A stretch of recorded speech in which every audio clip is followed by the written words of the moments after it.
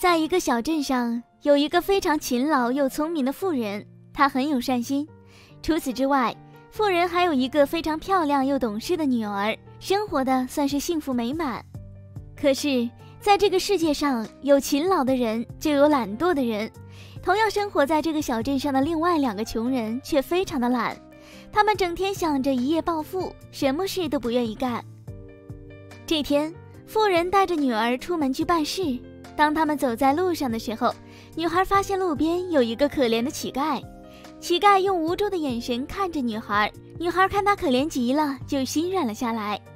于是，女孩就叫父亲拿一些钱给乞丐。父亲非常疼爱女儿。所以女儿要做的基本都会答应，二话不说，妇人直接掏出两百块钱给了乞丐。乞丐接过了钱，很激动地感谢着妇人。刚巧这一幕却被两个非常懒惰的穷人看见了，于是穷人们瞬间想到一个发财的路子，他们也假扮成乞丐，分别在不同的地方乞讨，更是盘算着让富人看见。正如他们所料，富人看见后。都给了乞丐一些钱财，这时两个穷人得意的笑了。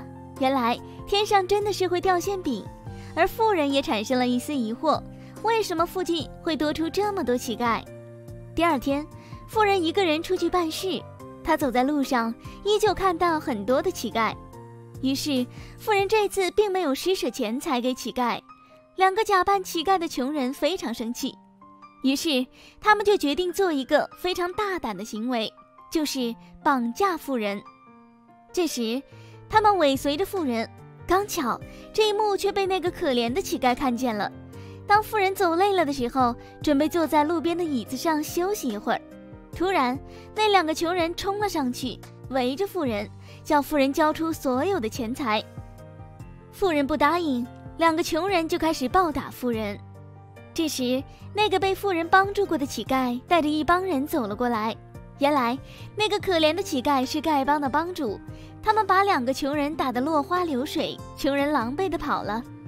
富人看着乞丐，并对他们说道：“谢谢你，非常感谢你们的帮助。”乞丐说：“不客气，你也曾帮助过我，不是吗？滴水之恩，当涌泉相报。”回到家后。富人决定给附近的乞丐都安排一份稳定高薪的工作，从此，在这个小镇上几乎没有了乞丐。这个故事告诉我们：滴水之恩当涌泉相报。如果是你，你会做到吗？